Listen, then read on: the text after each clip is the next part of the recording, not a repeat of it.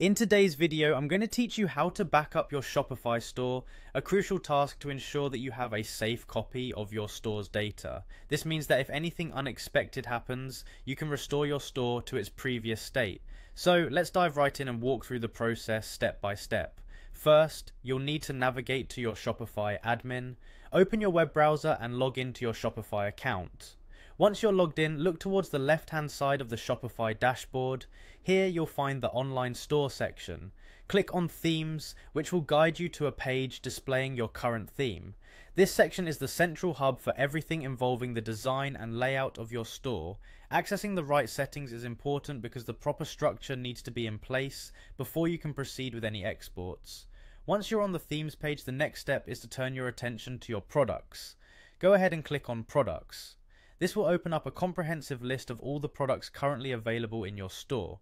It's essential to have this inventory ready as you need a complete overview when performing a backup. Now, with your products listed, look for the export button which is usually located on the right side of the page. Clicking export initiates the process of backing up your data. Shopify will give you the option to customize this export, ensuring you can back up exactly what you need. Upon clicking export, you'll be presented with a few different options. For instance, you can choose to export just the products visible on your current page or your entire product catalog. If you anticipate needing a complete backup, consider selecting all products to ensure nothing is left out. Shopify also offers options for the format in which you wish to save your backup. You have the choice of saving it as a CSV file for Excel, Numbers, or other spreadsheet programs. This format is great if you plan on using the data in various applications. Alternatively, there's the option for a plain CSV file, which is a simplified version and might be beneficial if you're looking for a straightforward backup without any specific formatting requirements.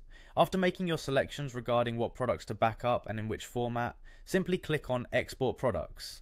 Shopify will then generate your backup and you'll receive an email with a download link once the file is ready. Ensure you have access to this email as it contains the link to download your backup securely. And there you have it, your Shopify store products are now backed up successfully. Remember, regular backups can safeguard your business from unexpected data loss. Thanks for watching and make sure to subscribe for more helpful Shopify tutorials.